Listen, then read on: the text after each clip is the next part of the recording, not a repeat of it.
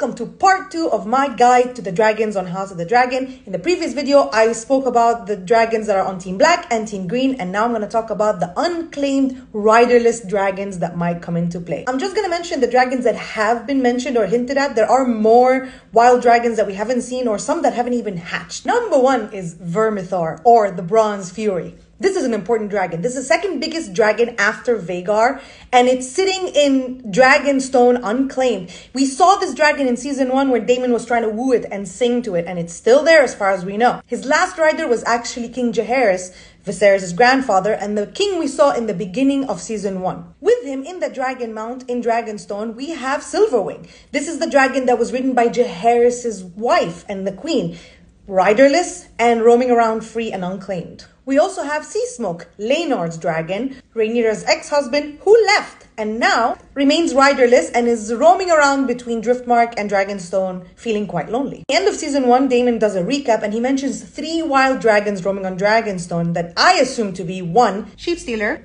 a dragon that eats sheep. Two is Cannibal, a black dragon that eats other dragons and the shy and timid dragon Grey Ghost. There are definitely more dragons that aren't mentioned, that will come in later, that will hatch later, but these are the ones that have been seen or directly referenced. I hope to see them in action and I hope you guys found this guide helpful. Bye bye.